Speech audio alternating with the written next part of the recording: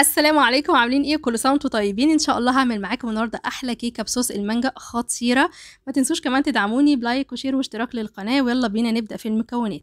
معانا كوباية سكر كوباية كمان مانجا fresh من غير أي إضافات. نص كوباية زيت كيس baking powder كيس فانيليا ثلاث بيضات بدرجة حرارة المكان اللي أنت موجودة فيه. رشة من الملح وكمان كوبايتين دقيق. الخلاط اللطيف بتاعك ودي أسهل طريقة بنعمل بيها أي نوع من أنواع الكيكة. حطي فيها كل المواد السايبة اللي عندك واضربيهم كويس جدا لغاية ما يبقى القوام سايب معاكي خالص ما أي تكتلات إيه اطلاقا. مع كوبايتين الدقيق حطي كيس ال baking powder ورشة من الملح سنه عن الرسول عليه أفضل الصلاة والسلام. قلبي المواد الجافة دي مع بعضها كويس عشان كله يبقى مع بعضه كده مفيهوش إيه حتة فيها وحتة ما فيهاش. وهاتي بقى الخليط اللي إحنا ضربناه في الخلاط وصبيه على الدقيق بتاعنا. اقعدي بقى إيه قلبي فيه لغاية ما يبقى الدقيق مختفي تماما. ما فيهوش أي إيه آه نقط يعني من الدقيق. ومع لو ما عرفتيش تعملي الخطوة ديت ممكن تضربيهم في الخلاط وهيطلع معاكي القوام زي الفل.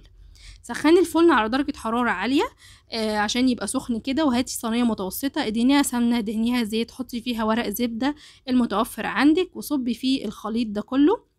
خرجي منها الهواء بضربتين كده على الرخامة عندك ودخليها على درجة فرن حرارة 180 أو لو ما عندكيش الفرن مرقم ممكن تحطيها على درجة حرارة هادية خالص المهم إن إيه النار تكون هادية. للصوص بقى الخطير كوباية مانجا مثلجة معلقتين كبار من القشطة أربع معالق كبار من الكريم شانتيه وكمان هنحط رشة من السكر البودر الصوص ده يا جماعة هيبقى سايب مش هيبقى تقيل زي الكريم شانتيه.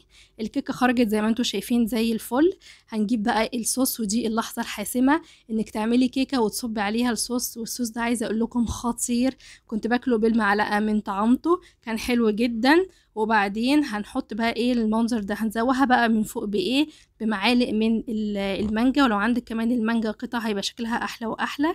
تخليها التلاجة تسقع بس نص ساعة وخرجيها بقى وكلي أحلى كيكة بصوص المانجا وانتي بتقطعيها. عايزة أقول لكم خلصت على طول في نفس الوقت من طعمتها وجمالها وده الشكل النهائي. يا رب يكون الفيديو عجبكم ما تنسوش كمان تشتركوا في القناة. وكل سنة وأنتم طيبين والسلام عليكم.